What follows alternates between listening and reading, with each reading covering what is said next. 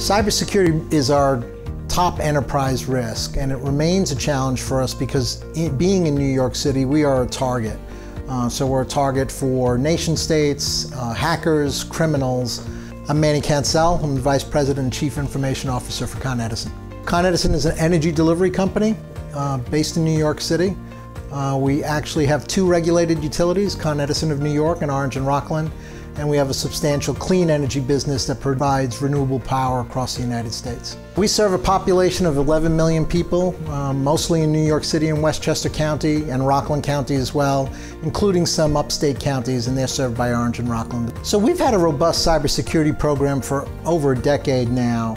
Uh, and that is people, process, and tools. We've made a lot of investments in technology. One thing that was missing from our portfolio was something that really analyzed what was going on in our network.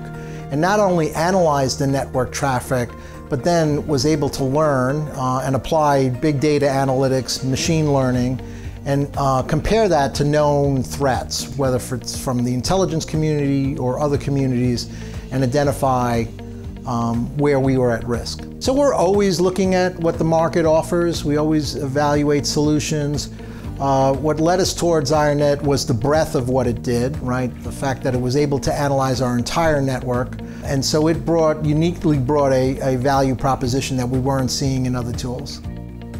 So I think the value proposition associated with the Dome is that it's just not about Con Edison. It is about the entire sector and, and also other sectors that are also um, at risk from cyber attack.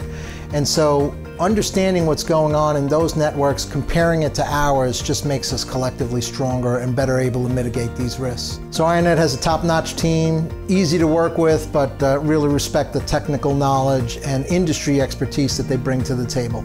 We look forward to continue working with IronNet. We've reaped the benefits of actually implementing the technology. Uh, we feel that it has helped protect us in a way that's unique uh, compared to other products, and we look forward to continued advancements.